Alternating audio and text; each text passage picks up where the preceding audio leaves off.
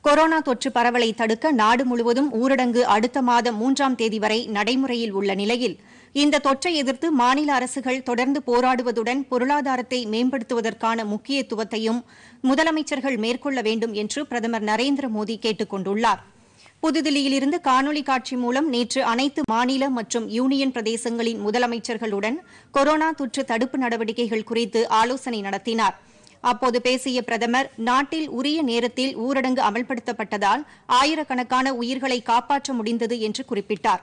ஆலோசனையின் போது மே மூன்றாம் தேதிக்கு பிறகும் ஊரடங்கை நீட்டிப்பதா அல்லது படிப்படியாக விலக்கிக் கொள்வதா என்பது குறித்து முதலமைச்சர்களிடம் பிரதமர் கேட்டறிந்தார்.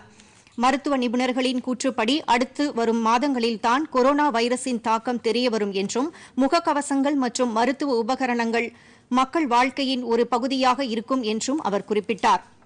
இருப்பினும் கொரோனா வைரஸ் தொடர்பான விழிப்புணர்வு மக்களிடையே தொடர்ந்து இருக்க வேண்டியது அவசியம் என்றும் பிரதமர் குறிப்பிட்டார்.